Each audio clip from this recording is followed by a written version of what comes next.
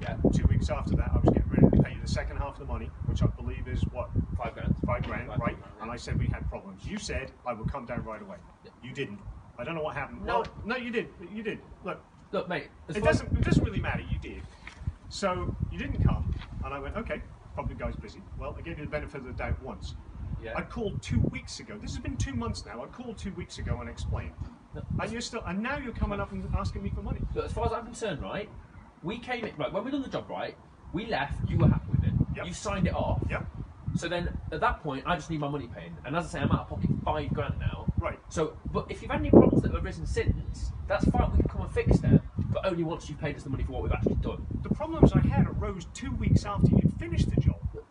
You didn't come and do Yeah, but you anything with paid it. us before, mate. If you'd paid us, I no no no no no no. I called you two weeks after the job had been done, and we it was can, we can already check. all- having We can check all that, mate. We keep records of all the calls anyway, so we can, we can check that. But that's not the point. I have no problem with that. Me too. Look, if I tell you what, mate. If you went to a restaurant and you eat, then you pay for it, wouldn't you? Yes. Yeah. So how's this any Providing the food was okay.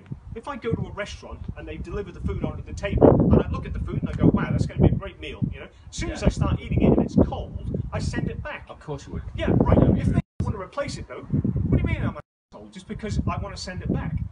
The food is cold, so I send it back, and if they're not going to replace it, I don't pay for it and I leave. They would replace it, and that's what we're saying we would do now. We'll come and sort it out for you. I've already given you two benefits, okay, of the doubt. I have an idea. Why don't you come into the house right now? Take a Well, look at. mate, I'm not. I don't want to come in your house anymore because one, I'm not coming in until you pay me the rest of the money you owe me, and secondly, I'm not just don't feel comfortable coming in your house. How the hell are you going to know what to do if you don't come in the house and take a look at the damage you caused already? You see, this is what the problem is. This is understand from my point of view. Okay, Okay. okay, yeah. I give you the five grand. How do I know, based on the fact that you've let me down three times now, that you're not just going to disappear off the face of the earth and Because the we're work a doesn't? registered company. Because we're like you. If you're that registered and you have that kind of integrity, why the hell Mate, are you showing up we've got a reputation to look after. I've done, I've done their, um, I've done their pantry down on the street, mate. I, people know us around here. We've got a good reputation. I've never had a client like you. I've never had anyone do this before. Well, you know what? I apologise for that, and I'm really sorry. There's a first time for everything. But you know what? I've lived on this road for 20 years, and I know most of the people on it. So, given the situation, unless you're willing to come in and take a look, all I'm asking is take a look at the problems that you've caused. I'm going to make sure everybody on the road knows that you're you're Well, unprofessional. I can see you're filming. We're filming as well, mate. Well, Like, that's great. Yeah, but well, they're going to see what a loon you are, and then who, who they're going to trust, mate. Because we've got a contract, we've, we've had an agreement, we provided a service, you pay for that. And you're the only person not holding up your end of the bargain at the moment. I don't think it's that way. I think Well, it- I do, mate, and I'm sure my solicitor will as well when she watches this. Well, I, I'm, you know, your solicitor's just going to have to watch it. We've got the same footage. What I still have, though, is a toilet I can't use.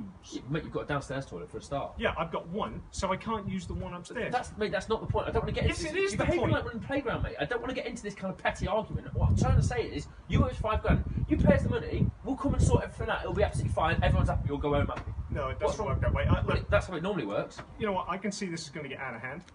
Well, it's not- Why don't you get off my property for now? I'm not on your property. Look, I'll set off. I'll tell you what then. Call the police, mate, because you've actually robbed us of five grand. So I wouldn't even mind the police coming down. I wouldn't mind having a word with them. well, you know th- that would be good for both of us, I guess. Obviously, you if you can't even get off the property, Well, you okay, don't, I'm here, mate. you I'm don't standing here, aren't I? understand what the end of the property is. How are you going to understand how to fix a bathroom I'll tell you what, mate, unless you we- come in and take a look? We'll take this video back to my solicitor, right? and We'll be back to get my money. How's that? Great. You know what? Have a great day. We're going to do the same thing. Yeah, you too, mate. All right. Yeah. Did you get that? Yeah.